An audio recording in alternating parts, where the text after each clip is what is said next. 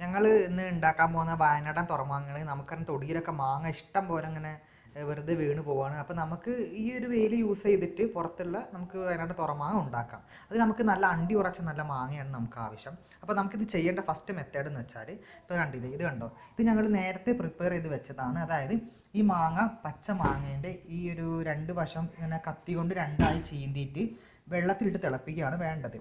നമ്മളൊരു ചെമ്പിലോ അല്ലെങ്കിൽ കുക്കറിലാണെങ്കിൽ ഒരു വിസിലൊക്കെ മതിയാകും. നന്നായിട്ട് വെള്ളത്തിൽ തിളപ്പിച്ച ഈ മാങ്ങയാണ് നമുക്കിനി ആവശ്യം. കണ്ടില്ലേ? ഞങ്ങൾ ചെമ്പിൽ ഇത് ഗ്യാസിൽ വെച്ച് തിളപ്പിച്ച മാങ്ങയാണ്. അത്യാവശ്യം ഉള്ളൊക്കെ നന്നായി വെന്ത് കിട്ടണം. ഒരിക്കലും ഇത് കുഴഞ്ഞു പോകാൻ പാടില്ല. ഇനി നമുക്ക് ചെയ്യേണ്ടത് ഈ വേവിച്ച മാങ്ങയിലേക്ക് നമുക്ക് ഉപ്പ് നന്നായിട്ട് പുരട്ടി കൊടുക്കാം.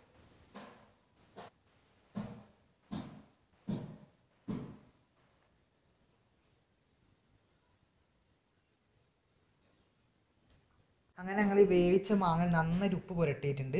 ഇനി നന്നായിട്ട് വെയിൽ കൊള്ളിച്ചതിന്റെ ശേഷം ഏകദേശം ഒന്ന് ഉണങ്ങി കിട്ടുമ്പോൾ നമുക്കിത് മസാല പുരട്ടണം.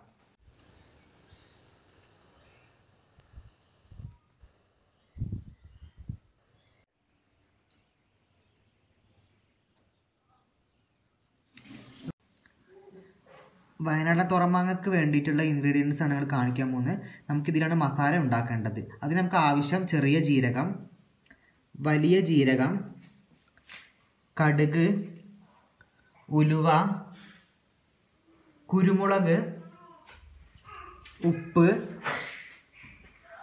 ഉഴുന്ന് പരിപ്പ് ചുവന്ന മുളക് പൊടി. നേരത്തെ നമ്മൾ പറഞ്ഞ ഈ മസാലയ്ക്ക് വേണ്ടിയുള്ള ചേരുവക നമ്മളൊരു ചീനച്ചട്ടിയിലോ അല്ലെങ്കിൽ ഫ്രൈ പാനിലോ വെച്ച് നമുക്കിത് ചൂടാക്കിയെടുക്കാം. പാകത്തിന് വേണം നമുക്കിത് ഇത് ചൂടാക്കി എടുക്കാൻ അതാണ് ഇനി പറയാൻ പോകുന്നത്. ആദ്യം നമുക്ക് ചെറിയ ജീരകം. ചെറിയ ജീരകം കുറച്ച് മതിയാകും. ഇനി വലിയ ജീരകം. അത് നമുക്ക് ഒരു അല്പം കൂടുതൽ നമുക്ക് ചേർക്കാം.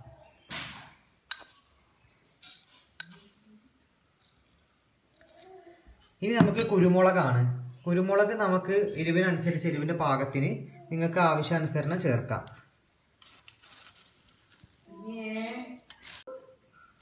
ഇനി ഉഴുന്ന് പരിപ്പ്.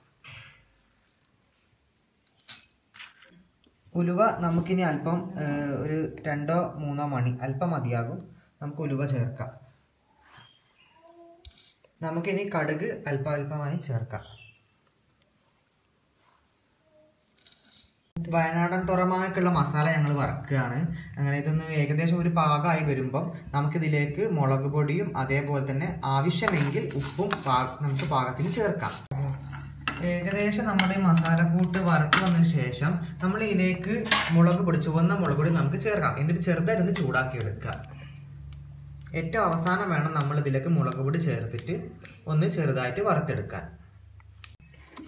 നമ്മൾ നേരത്തെ തയ്യാറാക്കി വെച്ച മുളക് പൊടി ഇതിലേക്ക് ചേർത്ത് ഒന്ന് ചെറുതായിട്ട് വറുത്തെടുത്തിട്ടുണ്ട്. നമുക്ക് ഇതിലേക്ക് ചേർക്കേണ്ട ഉപ്പാണ്. നമ്മൾ മാങ്ങയിൽ തുറമാങ്ങയ്ക്ക് വേണ്ടിയിട്ടുള്ള മാങ്ങയിൽ നമ്മൾ നേരത്തെ ഉപ്പ് ചേർത്തതും കൊണ്ട് നമ്മൾ ഉപ്പ് പിന്നീട് മസാലയിൽ പുരട്ടണമെന്ന് നിർബന്ധമില്ല. നിങ്ങൾക്ക് ആവശ്യമാണെങ്കിൽ മാത്രം മസാലയിൽ ഉപ്പ് ചേർത്താൽ മതിയാകും. നമുക്കിതിനി മിക്സിയിലിട്ടൊന്ന് പൊടിച്ചെടുക്കാം.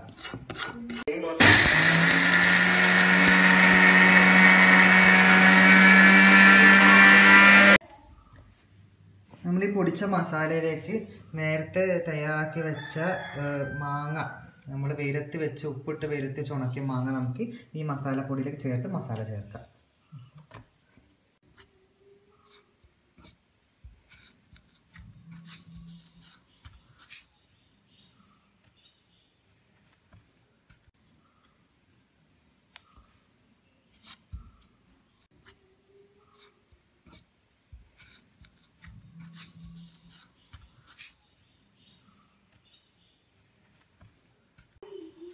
അങ്ങനെ സ്വാദിഷ്ടമായ വയനാടൻ തുറമാങ്ങ അവിടെ റെഡി ആയിരിക്കുകയാണ്. ഇപ്പം മാമ്പഴക്കാലൊക്കെയാണ്. അപ്പോൾ വീടിന്റെ മുറ്റത്ത് മാങ്ങയൊക്കെ ഉണ്ടെങ്കിൽ പച്ചമാങ്ങയൊക്കെ എടുത്തിട്ട് നിങ്ങൾ എന്താക്കുക? ഇതേപോലെ തുറമാങ്ങ ഉണ്ടാക്കി ഉപയോഗിച്ചോളുക. അപ്പോൾ ഇനിയിപ്പോൾ മഴക്കാലമൊക്കെ വരുന്നതിന് മുന്നേ വേണ്ടത് തയ്യാറാക്കാൻ അപ്പോൾ അതിന് മുമ്പ് നിങ്ങൾ റെഡിയാക്കി വെക്കുക.